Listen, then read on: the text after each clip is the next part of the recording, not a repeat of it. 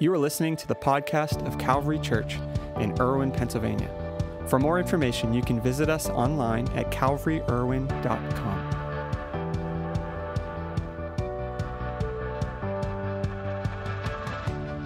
And if I never had the chance to meet you yet, my name is Michael, and I serve as one of the pastors on staff here at Calvary. And just as Pastor Nick and Sharon mentioned, if this is your first Sunday with us, or you classify yourself as maybe new or newish to Calvary, we would love to connect with you. We'd love to meet you. We would love to just have a conversation with you, how you heard about Calvary, and just really ask some simple questions, just get to know you. We have a team called our uh, Connect team, which is if you leave the sanctuary and you head out to our foyer at our Connection Center, we have a team out there would love to, to ask you those questions, love to meet you. We also have, have a gift as our way of saying, Thank you for joining us. We know that schedules on Sunday morning can be hectic and, and can be stressful, and you've carved out about an hour, hour and a half of your Sunday morning to gather and to worship with us. So I just want to say thank you from the bottom of my heart, thank you for the staff here at Calvary for doing that. And lastly, if you've decided to follow Christ, you've never taken the step to be publicly baptized. November 5th, uh, which is in two Sundays, is we have our fall baptisms. I would encourage you, if you're wrestling through this, if you're processing through it, take that time, pray about it, process it, ask some healthy, good questions about water baptisms. Uh, again, we have a staff, we have individuals in our church that can help you walk through that process. But November 5th, and if you'd be interested in getting baptized, you can go to connect.calvaryirwin.com and click the events tab. And this morning we are continuing our series uh, entitled what we titled Don't Be an Idiot. You know, and from the outset, that title might seem brash or, or really harsh if you don't know the context of this sermon series. But this sermon series, uh, Don't Be an Idiot, is really these next, really two weeks, but in total five weeks, is to help all of us in certain areas of our life where we might make foolish or stupid decisions. We can then look at God's word and how we can apply God's eternal truth to our everyday lives. You know, and if you've been with, if you've been with us for some time throughout this series, so far, we've covered the very first week is Don't Be an Idiot with Your Life. And that was just really an overview of the book of Proverbs, just walking through Proverbs and, and what are Proverbs in the Bible. The second week, we looked at Don't Be an Idiot with Your Money. Really, Pastor Nick just walked through some practical wisdom, some tools, and some resources of how to handle money. Last week, we talked about Don't Be an Idiot with Your Words. Three phases of your words is your words towards others, your words about yourself, which is self talk, but ultimately, they all hinge on what God says about you, so God's words towards you. And today I want to continue this sermon series talking about a, I would argue, a challenging place for all of us who are Christ followers to be in. And I would argue that it's actually becoming more and more difficult to operate in that space if you're a Christ follower, and it's this it's your work. It is your work or your workplace. And if you take notes, to, uh, today's title uh, of the sermon is Don't Be an Idiot with Your Work. Or better yet, I want to propose a question to you, and really this is the lens at which we're going to look through God's word today is how can I honor God in my workplace? Is how can I honor God in my workplace? Would you pray with me this morning? Heavenly Father, we thank you so much for the opportunity to, to gather every single Sunday. God, help all of us, whether they're in the house or watching online, God, not take it for granted. God, I thank you that you've uh, that you've shown up today, God, and that you continue to show up today. God, I pray as, as I communicate from this platform today, God, that people will not see me on this platform, God, that people will see you speaking through me. God, I'm always reminded as I speak from this stage that I must decrease and that you must increase. God, I ask that if there are words in my notes or in my message that are, are off, God, I ask that I don't communicate those. God, I also ask that the words that I'm going to say this morning, God, land on hearts that are receptive to hear what you have in store for them. God, use these words today for your glory and for your kingdom. In Jesus' name, amen. You know, every week we have uh, life groups that function uh, around our campus or throughout our local area. You know, people are connecting and, and conversations are happening. And I've been trying to, over this last semester, we're going into, uh, I believe, week seven, week eight. I've been trying to equip and empower all of our life group hosts uh, around some best practices to further train and to further equip some of the hosts here at Calvary. And some of the hosts here at Calvary are actually new hosts that have never, ever hosted a life group before. And it is my responsibility to equip them with some best practices. I'm the type of personality that I don't like to waste time, and I hope that I don't want to waste your time. So, in sharing some best practices, I hope that your life group gathering every single week or bi weekly or, or once a month, that you are able to get and gain as much as you can out of that time of, of gathering. And one of the best practices that I've been sharing with some of our life group hosts this semester so far is praying for your life group is uh, there's a term called shoulder tapping just asking people to join your life group by yourself word of mouth or word of invite. But one of the best practices i want to share with you today is open up with an icebreaker question if possible and if you're in the house or watching online, some of you might have cringed at hearing those words of icebreaker questions. And that might have been just an experience that you've had at, your workplace with friends, maybe with family, and ask or being asked those questions of icebreaker questions. Or maybe you were on the, the flip side of that and you asked those questions in your workplace with your friends, with your family, and you've gotten no response whatsoever. It was super awkward. But what I've shared through that best practices is that icebreaker questions actually have a list of quality um, benefits, if you will, for asking those types of questions. And they're this they, they let people practice speaking, but also listening to others. They build relationships and strengthen connections, create team and organizational culture. They encourage participants to open up with one another and share ideas. They promote communication within a team. And there's just a few more of those benefits, and that list honestly can go on. But one of my favorite types of icebreaker questions that I love asking, but also love being asked, is this or that questions. And I'm sure that you've maybe heard of the this or that types of questions, or maybe you've never heard of this or that questions. But in those questions, there's usually a theme built around those questions, whether it's movies, whether it's an activity, whether it's something happening in culture, season of life, food, whatever the case may be. And in those questions, there are two choices, i.e., this or that.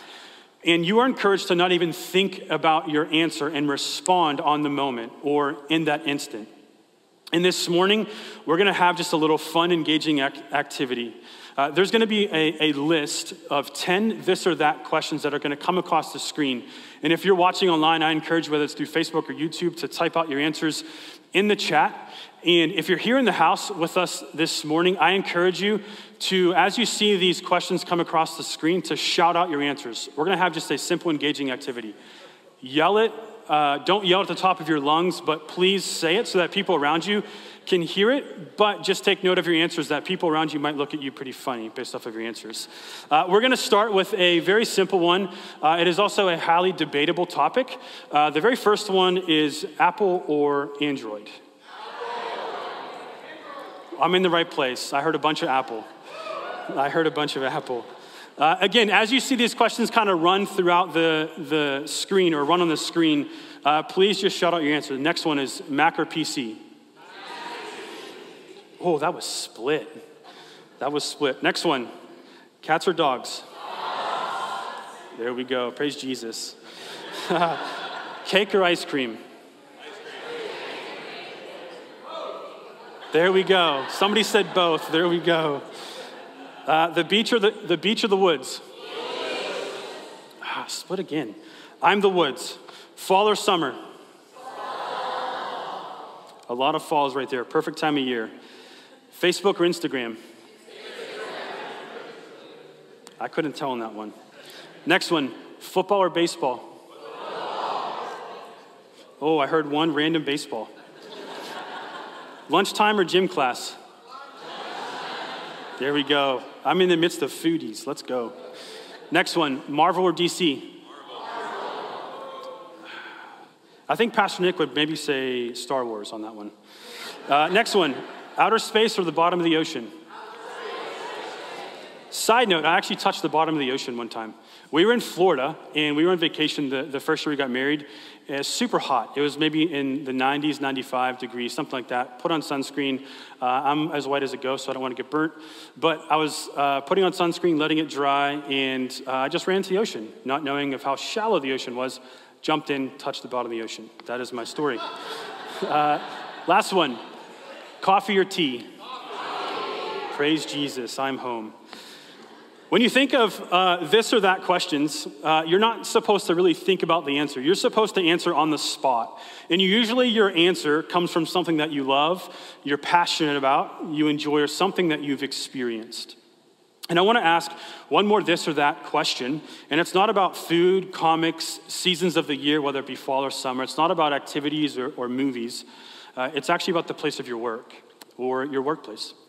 And you don't need to answer this one out loud, but I'm, I'm going to ask you to take just a few moments and really reflect on your place of work. Whether you have a full time job, part time job, self employed, whatever the case may be, I want you to think about your place of work or the work that you do, and i.e., your coworkers, your managers, the people you interact with every day.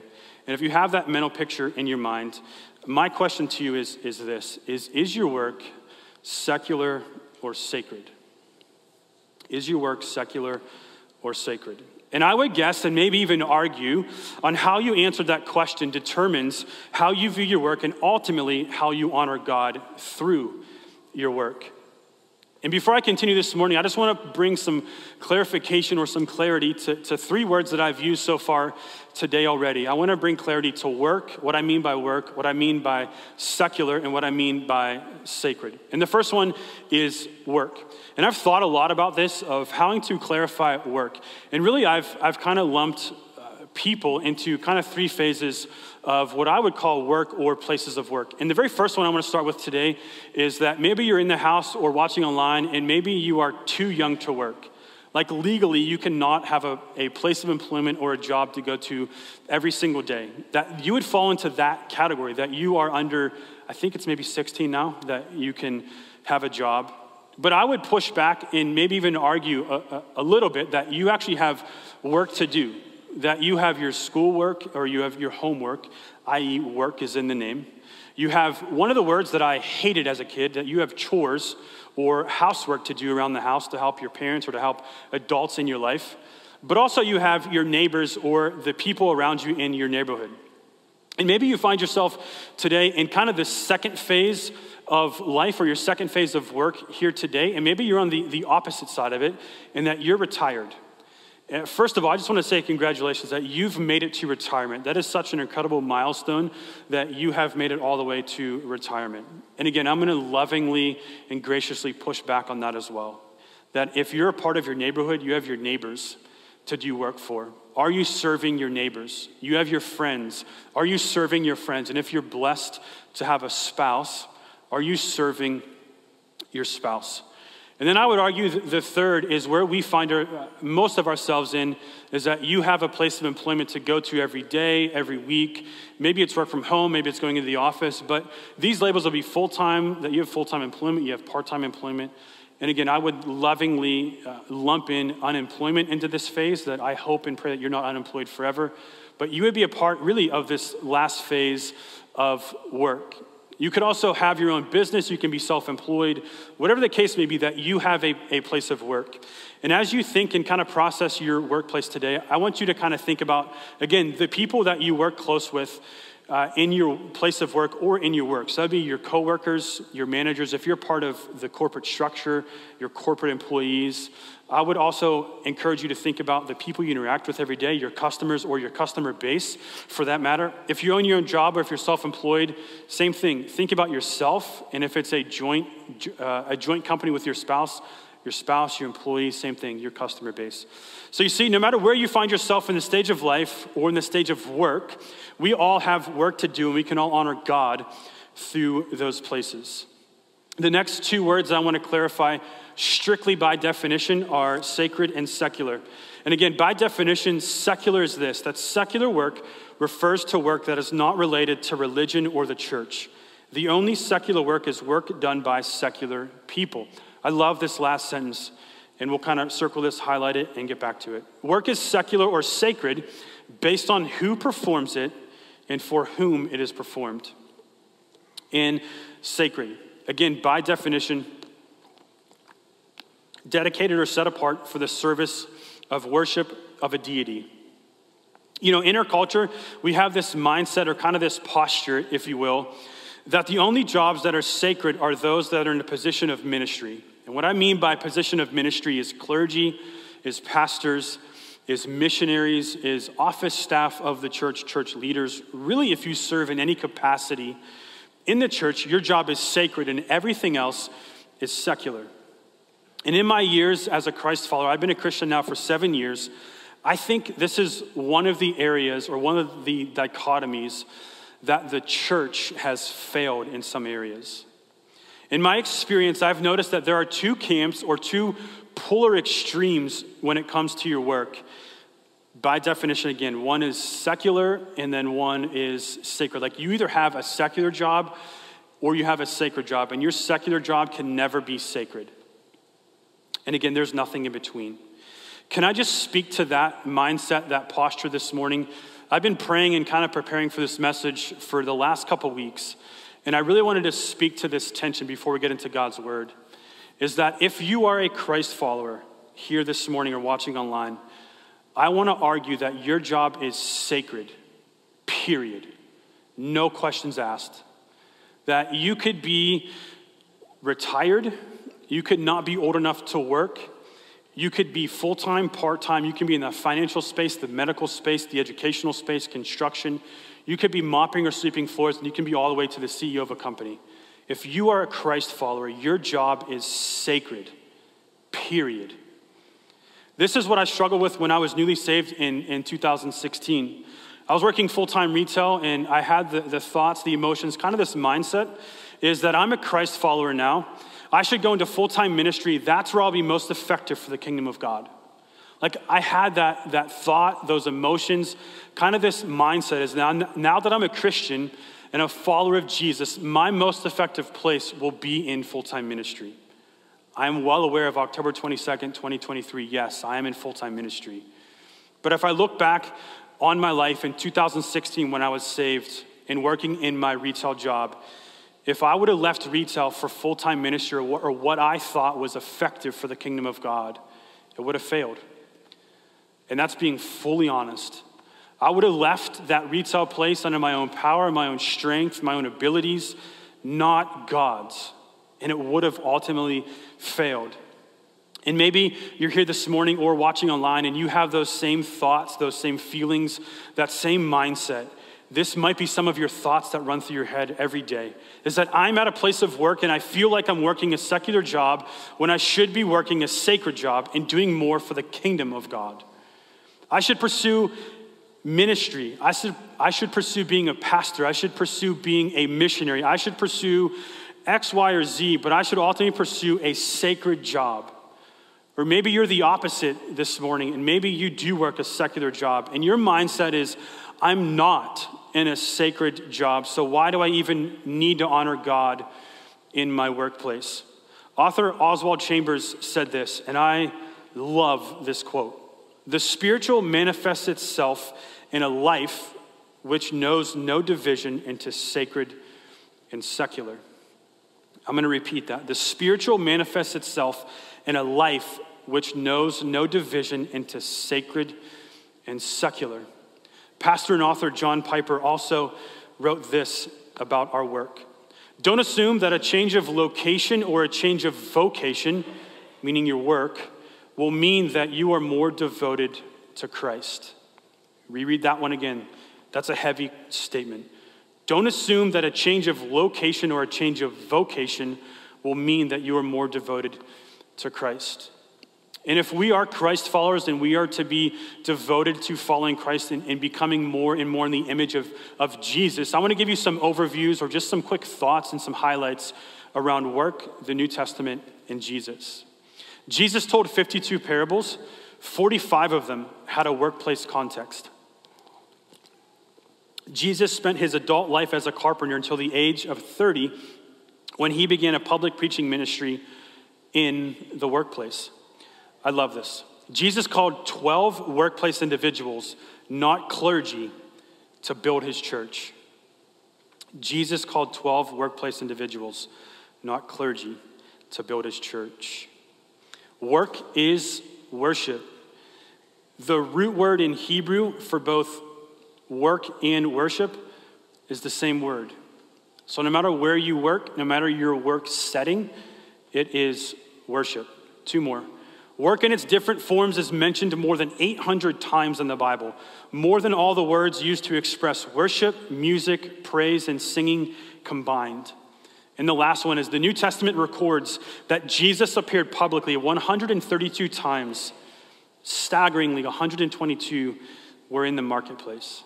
To me, those are fascinating observations of Jesus' work in the New Testament. So, if we take that approach and really process those observations, no matter if your job is sacred or secular, there is an importance in being a part of the workplace and being engaged in the world around you. You have an incredible opportunity to make your workplace a better place because God has specifically placed you there for such a time as this. And you might be processing this morning, hearing that question that I proposed this morning is how can I honor God in my workplace? You might be thinking this is maybe you want to see God honored in your workplace. I would encourage you by start to honor God in your workplace right where you're at. And you might be thinking or processing, well, how can I honor God in my workplace? My workplace is, is a difficult place to work or, or difficult individuals to, to be around or difficult conversations are taking place or I work in an industry that is just brash and have this stigma of, i.e., construction or trucking for that matter. Like, it is just a difficult industry to work in. I want to answer those or that question to this morning. And I want to just want to walk through three questions with you this morning, look at God's word, and then give you practical how to's on how to answer really those three questions. If you know any of my history or my background, I shared a little bit. But previously to becoming full time here at the church, I worked 13 years in the retail industry, and for almost five of those 13 years was in management. So, coming into the local church as a full time pastor, I've seen both sides of this coin. I've worked a, by definition, a secular job, and now I work by definition, a sacred job. But I've had this tension is sec- secular versus sacred. But if you're taking notes this morning, the first question that I want to ask you this morning in regards to honoring God in your workplace is this is are you honoring God with your work ethic? Are you honoring God with your work ethic? Proverbs 14, 23 out of the NIV says this. All hard work brings a profit, but mere talk leads Excuse me. All hard work brings a profit, but mere talk leads only to poverty. You see, if a man works at his trade or a man works at his work, he gains by it. If he cultivates the earth, it will yield an increase. And in proportion, as he works hard, so will be his profit. But he who talks much labors little. And a man of words is seldom a man of deeds. Simple takeaway of this verse less talk, more work. Proverbs 21 5 out of the NIV says this the plans of the diligent lead to profit, as surely as haste leads to poverty. Same verse out of the NLT, which is the New Living Translation. Good planning and hard work lead to prosperity, but hasty shortcuts lead to poverty. You see, those that are quick to be rich, those that are looking for a get rich quick scheme, here's a warning from this verse it doesn't work. You will eventually get burned. There is no quick way to riches. The thoughts of the diligent tend towards plentifulness, but the get rich schemes are going to leave you broke. God calls us to be faithful in our work ethic, no matter if it's a secular job or a sacred job, and He calls you to that day after day after day after day. Proverbs 10:4 out of the NIV says this, lazy hands make for poverty, but diligent hands bring wealth. Again, same verse out of the ESV. A slack hand causes poverty, but the hand of the diligent makes rich. Proverbs 12 11 of the NIV. Those who work their land will have abundant food, but those who chase fantasies have no sense. All of these verses so far under work ethic is there's a theme, is that God calls us to have a hard and a faithful work ethic. In his book, Christians in the Workplace, Pastor Charles Stanley writes this quote one of the greatest hindrances to the gospel's effectiveness is Christians who act one way at church and another way elsewhere. The way we live for God should permeate all areas of life. The workplace is no exception. The way we act reflects our faith. So if we claim to be Christians, our coworkers, our bosses, employees will equate our attitudes and actions with Jesus. And he ends this quote with a question I wanted to answer. Did those around you at the office see a positive reflection of God in your work ethic? How do you honor God with your work ethic? That's a great question. And I want to walk through just three bigger observations that I have experienced in really in my 15 years of working, 13 secular, the last two as a, as a full time staff pastor. Number one is, is this just the practical how to, to honor God with your work ethic. Number one is arrive on time. If you've been given the expectation or the responsibility of a kind of a time frame of your job, whether it's seven to three, eight to four, nine to five, like whatever your scheduled time is for that day, and if you have the expectation of clocking in, whether that's a physical time clock, clocking in on your phone through an app, clock in on time. Don't go a minute over, don't go five minutes over, don't even clock in early. Clock in on time. That shows that you have quality and faithful work ethic. Along the same lines, that if you're given the opportunity to have a lunch break in your workplace, especially if it's an unpaid lunch break, don't abuse that. Yes, that goes to honesty and integrity and all those things, but around your work ethic, that you are stealing time. That honor your lunch break. I know that sounds so silly and so simple, but that is a practical way how to honor God with your work ethic. The second one goes right in line with this is put in a full day's work. Put in a full day's work. I read a quote about this it says this that it's more common for people to rob their employers through laziness than by misusing of office cash. That hit home. It's more common for people to rob their employers through laziness than by misusing office cash. And the last one is one of my favorites. Uh, it is exceed your role description, expectations, and responsibility that whenever you were hired full time, whatever start date you had at your company or within your promotion, you might have been given a new role description, expectations, responsibilities, um, kind of whenever you made that transition. Whatever your expectations are at your job, I challenge you, not just encourage, I challenge you to exceed those expectations. Don't just put forth a status quo, average effort at your workplace. God does not call us to work below the expectations. God calls us to rise above those expectations. And if you're in a position to increase your skills, whether that's in the financial space, the educational space, medical space, whatever your work or your workplace is, even in retirement, that if you have the ability to increase your skills or your knowledge in your work, do so. What I mean by that is listen to podcasts Read books, listen to audiobooks if you have a longer commute for your work. Go to conferences if you can.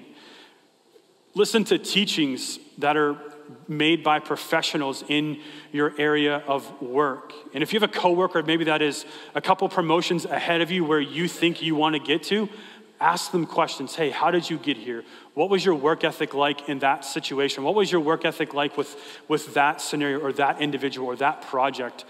Literally, these are practical how to ways to honor God in your workplace. And we honor God when we do quality work. Second question I want to ask you today around your work or your workplace is this is are you honoring God with your integrity? Are you honoring God with your integrity? There's going to be a bunch of verses rapid fire. There's 7 in a row. I hope that you stay with me. Proverbs 11:3 the integrity of the upright guides them, but the unfaithful are destroyed by their duplicity. Proverbs 12 22. The Lord detests lying lips, but he delights in people who are trustworthy. Proverbs 21 3. To do what is right and just is more acceptable to the Lord than sacrifice. Proverbs 10 9. Whoever walks in integrity walks securely, but he who makes his ways crooked will be found out. Proverbs 28 6. Better is a poor man who walks in his integrity than a rich man who is crooked or crooked in his ways. Proverbs 19:1 Better is a poor person who walks in his integrity than the one who is crooked in speech and is a fool. And the last one is Proverbs 20 verse 7. The righteous who walks in his integrity, blessed are his children after him. Side note, that last verse hit home. having almost a, a nine month old daughter, this verse is, is telling me, is speaking to me that I can apply to my own life. That if I have children, if you have children, or if you have generations to, to follow you, that your integrity and how you live your life today affects the generations to come. That is so weighty in a, a healthy way, that your integrity now will affect future generations. C.S. Lewis made this statement in regards to integrity. You might have heard this quote but it's this that is, integrity is doing the right thing even when no one is watching. Integrity is doing the right thing even when no one is watching. Titus 2, verses 7 and 8 in the New Testament show yourself in all respects to be a model of good works, and in your teaching, show integrity, dignity, and sound speech that cannot be condemned, so that an opponent may be put to shame, having nothing evil to say about us. You know, followers of Christ are to demonstrate dependability, trustworthiness, and integrity when, it, when called upon to deliver a, a service or when called upon to be in your place of work or your work. Because God is trustworthy, and because we are called to be image bearers of Christ and to emulate his character, it is vital that we too are full of integrity. And how to honor God in your integrity at work. Here are some of my observations. Number one is be absolutely and meticulously honest and trustworthy on the job. Whatever your job, whatever your work is, be absolutely and meticulously honest and trustworthy on the job. You know, and if, if you're in a position to offer advice, like if you're, if you're in a position of management, of, of leadership, if you have people working under you, make sure your advice you give is also the advice you live. Meaning, do your actions back up your words outside of work? Be accountable for your actions at work. You know, if you've missed a project or a, a, deadline based off of that project, or if you've maybe used too many resources, or you maybe gone over the budget that you were given for that project, man, own that. Own that in your work or in your workplace. Maybe you've missed a deadline on a project, or, or maybe you've, uh, again, just overused some of the resources that you've been given. Take accountability for that. Own up to that. That that shows your integrity, that shows your character, that shows that you are honest in your work or in your workplace.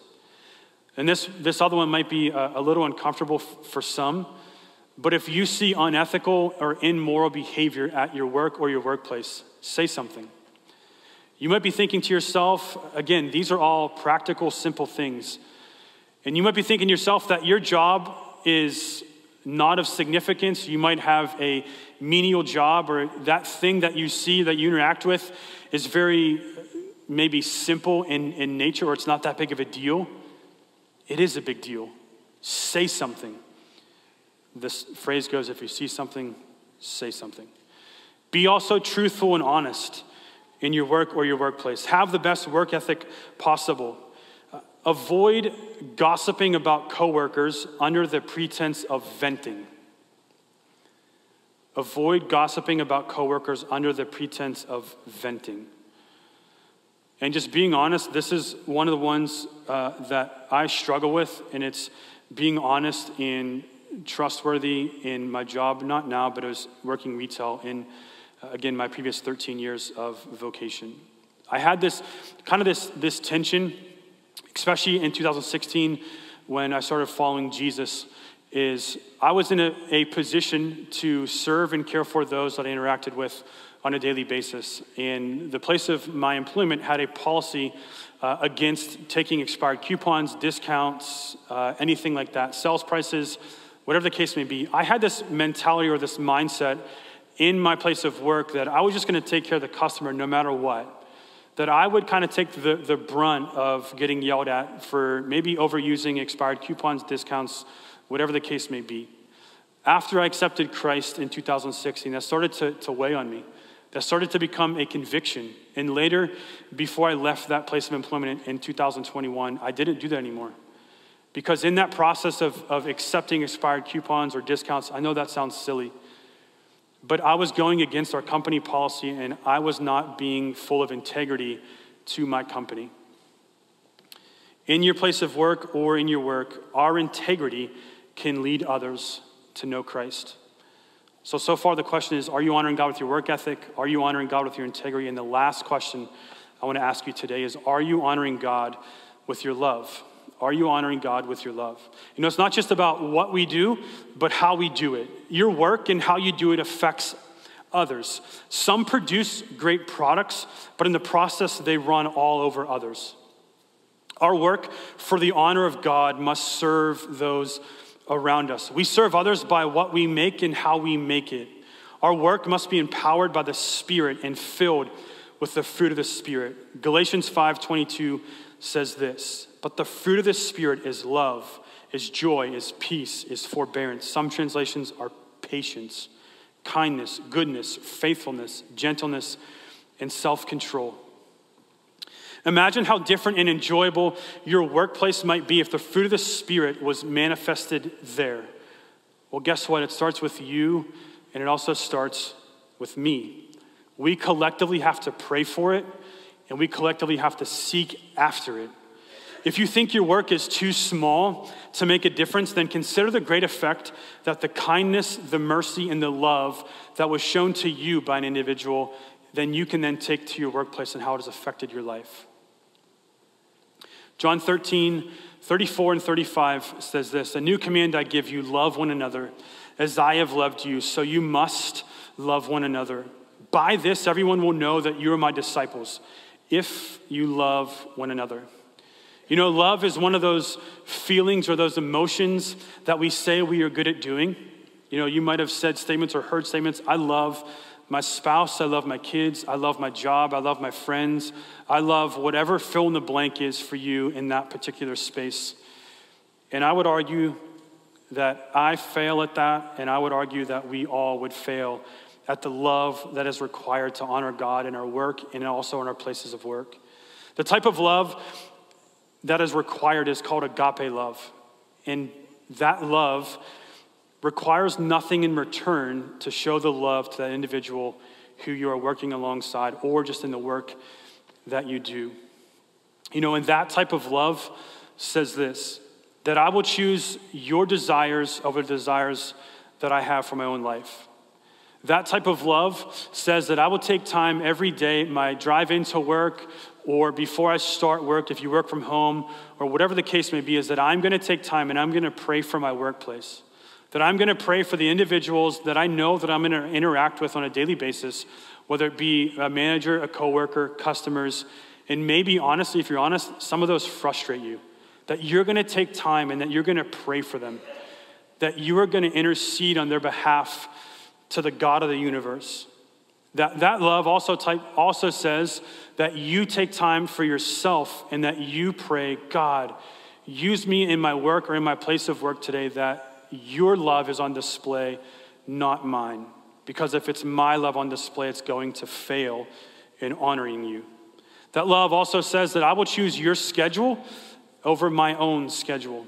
I know that might push back on some that we are rigid to our schedules or we're very routine to our schedules, but that love, agape love, says that I will choose your schedule over mine. That type of love also says that I will lay down my wants, my desires, my needs at the expense of moving the company forward in a healthy, honorable way.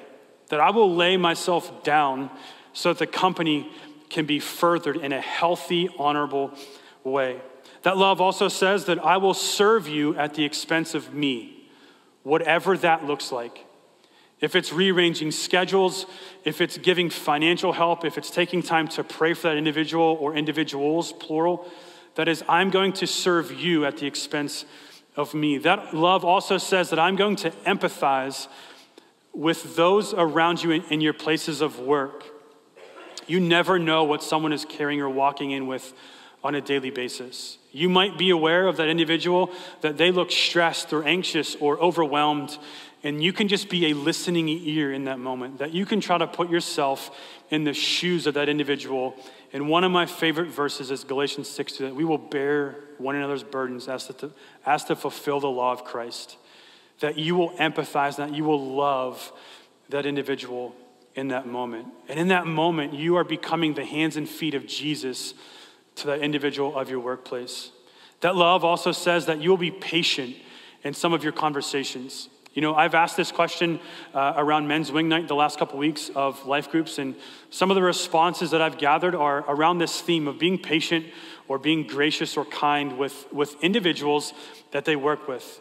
Again, depending on the industry or depending on your vocation, you might have some brash or some very strong personality people you work with. That love says you're going to be patient with that individual. You're not going to be quick witted. You're not going to be quick to speech. You're not going to, I was going to say pop off, but that's Rosemary's language. You're not going to do that. You're, you're going to be patient. Rosemary, uh, I work too close with her, I guess. Uh, you're going to be patient with that individual. You are going to have the fruit of the Spirit that we read before in Galatians 5:22. And one of the last big ones is that if you see an individual that you work with, that this type of love also says that you are going to take some of the workload off of that individual. That if you, again, see them that they are stressed, anxious, overwhelmed, that they're not going to meet a, a deadline or a project at your place of work, or maybe just in your work in general, that you're going to come alongside of them and you're going to serve that individual and you're going to say, hey, you know what? I see you. I see that you're a little overwhelmed. How can I help you? How can I take some of that work off of your shoulders that you are not overwhelmed, that you are not stressed, that you can breathe, that you don't have to be filled with anxiety or worry or stress because you're going to miss this deadline? That you're going to come alongside of that individual and you're going to love that individual. Colossians 3:23 through 24 says this, whatever you do, work at it with all your heart as working for the Lord, not for human masters, since you know that you will receive an inheritance from the Lord as a reward. It is, it is the Lord Christ you are serving. 1 Corinthians 10:31. So whether you eat or drink or whatever you do, do it all for the glory of God. So my questions to you this morning around your work. Again, if you're too young to work, if you're retired, if you have a place of employment, even if you're unemployed as well, are these questions. Are you honoring God with your work ethic? Are you honoring God with your integrity? Are you honoring God with your love? And I know that these three questions are not the exhaustive list of honoring God at your workplace. There are a multitude of ways to honor God in your work or in your workplace. But I strongly believe that if you start with these three things work ethic, integrity, and the love of those around you that you will see your place of work or your work change. And lastly, it's because that God is at work in you as much on Monday morning as He is at work in you on Sunday morning. My challenge in my prayer to you this morning is don't be an idiot with your work, meaning honor God in your workplace. I know it's difficult for some to honor God in your workplace through interactions, through, through conversations, through the people you deal with, through maybe the work itself is, is hard to honor God in your work. But again, I will push back that if you are a Christ follower in this place, that your job is not is not secular, that your job is sacred. And who you are and for whom it is done makes it sacred. If you go to work today, if you go to work on Monday morning, I challenge you to work on those three things honor God with your work ethic, honor God with your integrity, and honor God in your love to those around you. Would you pray with me this morning? Heavenly Father, we thank you so much again for the opportunity to, to gather this morning. God, I thank you so much for your word. God, that we can look at your word and, and apply it practically to our lives. God, I ask, whether it's today or throughout the week, God, as, as we go to our places of work or we have work to do, God, I ask that you challenge us that you give us opportunities that we can honor you in our, in our work. God, that we can honor you with, an, with a honorable work ethic, with a faithful work ethic. God, that we can honor you with our integrity. God, that we can be the same individual we are in public as we are in private. God, that we can honor you with, with the love of those individuals around us. God, make us aware of those opportunities. God, open our eyes to see those individuals, God, that, that need you in, in a desperate way. God, I pray as we all go today, God, I pray that you go with us. God, that your presence is going before us. God, that you are strengthening us and that you are keeping us. God, again, I ask that as, as we go into the workplace, into the marketplace, maybe today or tomorrow throughout this week, God, that you are with us. God, that you are strengthening us and you are helping us honor you through our work. We thank you. We love you. In Jesus' name. This is Pastor Nick Poole, the lead pastor at Calvary. We're so glad you joined us for today's podcast. I hope you enjoyed the message. At Calvary Church, we're passionate about leading people into an overflowing life with Jesus. We would love the opportunity to connect with you on your faith journey and hear what God is doing in your life, or join you in prayer for any needs you might have. You can visit us online at calvaryirwin.com or send us an email at info at calvaryirwin.com. On our website, you'll find previous week's messages, a list of upcoming events, as well as resources designed to help you take those next steps on your journey of faith. See you next week, and may the Lord bless you and keep you. May he make his face shine on you and be gracious to you. May the Lord turn his face toward you and give you peace.